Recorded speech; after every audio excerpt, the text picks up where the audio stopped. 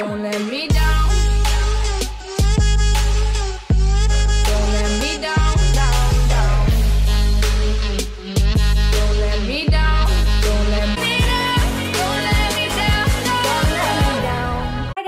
Welcome to another video. So today I did this dramatic purple glittery eye.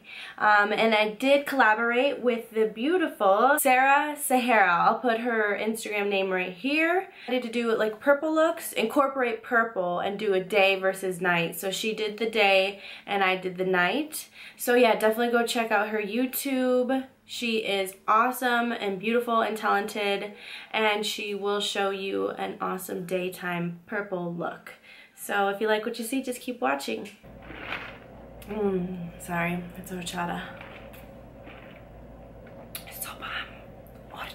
So yeah, I just want all the focus to be on the eyes, but I'll show you guys my whole face when I'm done with the video. So yeah, let's get started with the eyeballs.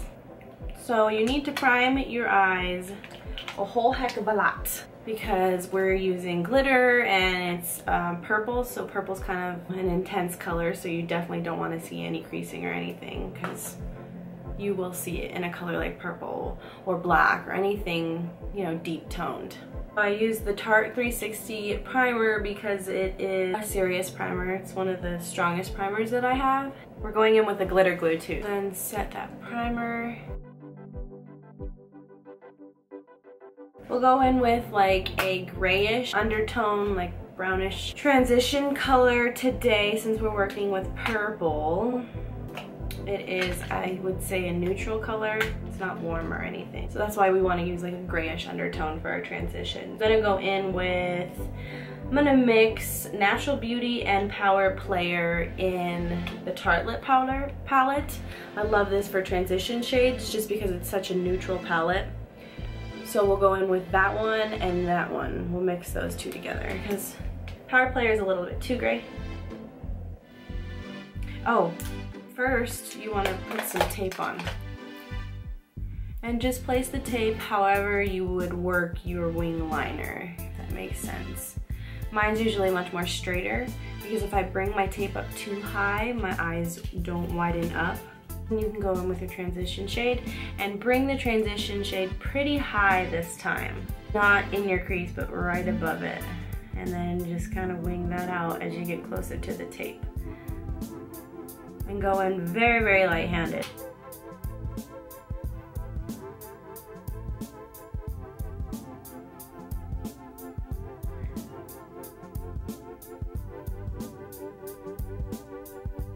But just to darken up the crease, we're going to take this color by Urban Decay. It is called Flash. It's just a beautiful purple, just a basic purple.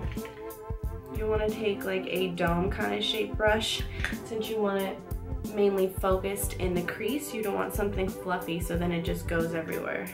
So take that, kind of hold your brush upwards and just pop that right into the crease.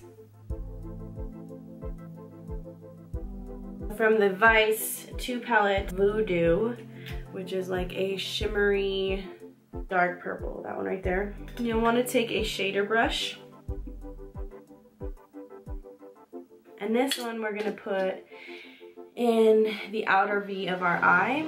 And we'll start from the outer V of the corner of the eye and work the shadow in and just tap it.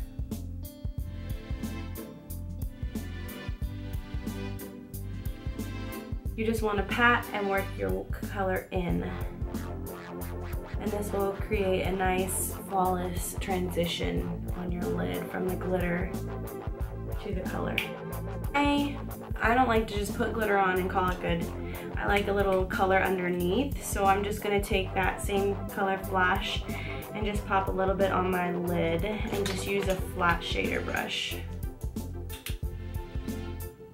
Also helps, like that darker purple we put on the edge, blend. Now the glitter. NYX glitter in the shade, um, doesn't have a name, it's GL I, I think, 11.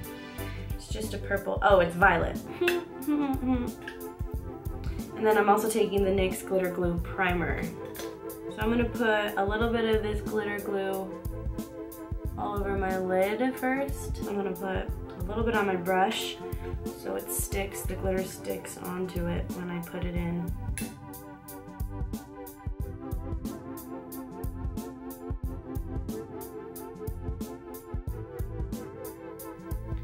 Yeah, and I'm doing the glitter before the face because you will get a lot of fallout. And I just kind of want to darken up the V a little bit, so I'm just going to put just the tiniest amount of black in the outer V. Let's use the black shade in the Tartelette palette. This one's Fashionista.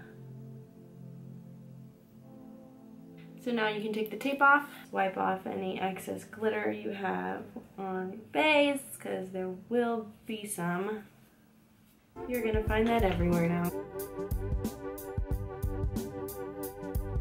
So now we can put on lashes. I'm going to use the Ardell Glamour lashes. They're long, but they're not thick, so you, you can still see your eyeshadows. Sorry guys, but on my bottom lashes, I forgot to film. I put Voodoo from the Vice 2 palette. Um, I tight lined it with an angled brush, and then I took